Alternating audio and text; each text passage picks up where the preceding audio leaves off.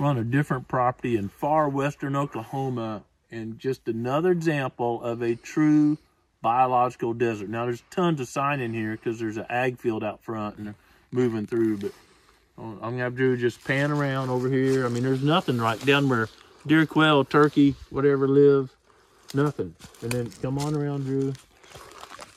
In the state of Oklahoma, the state of Oklahoma, not me, publishes, they think they're losing about 700 acres a day to cedars. And that's one here, one there, one here, one there.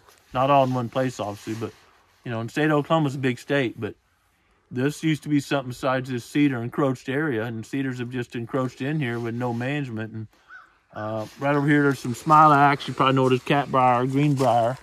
It's pretty shade tolerant, but there's no leaves. I mean, you got to get way up there to where there's a leaf. The deer have just stripped everything off here.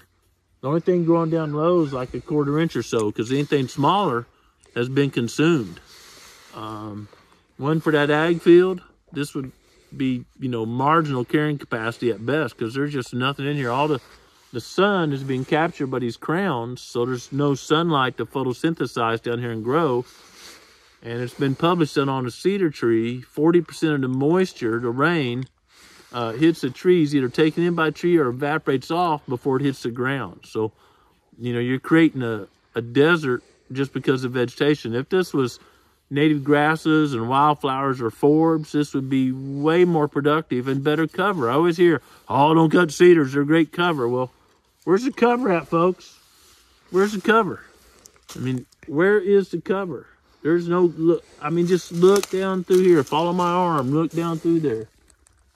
There is no cover. No cover, so I'm gonna get hate mail. Every time I talk about cedars, I get hate mail. Oh, do you ever see a cedar tree? Well, you're probably in Iowa on a steep hillside that's too steep to, to plow. So therefore, that's where, that's the only cover around. So of course there's deer in there. It's the only cover around. Doesn't mean it's good quality cover. It's just the only cover. You know, if I'm kind of hungry and I see a, an ant or a mushroom or something that's edible go by, I might eat it. But I haven't been that hungry, folks. I'm not that hungry. And so this could be much more productive habitat. And we're going to prescribe, uh, you know what's coming now, you know, some chainsaw work. We're going to fire up the Stihl and uh, hopefully talk the landowner to dropping a match.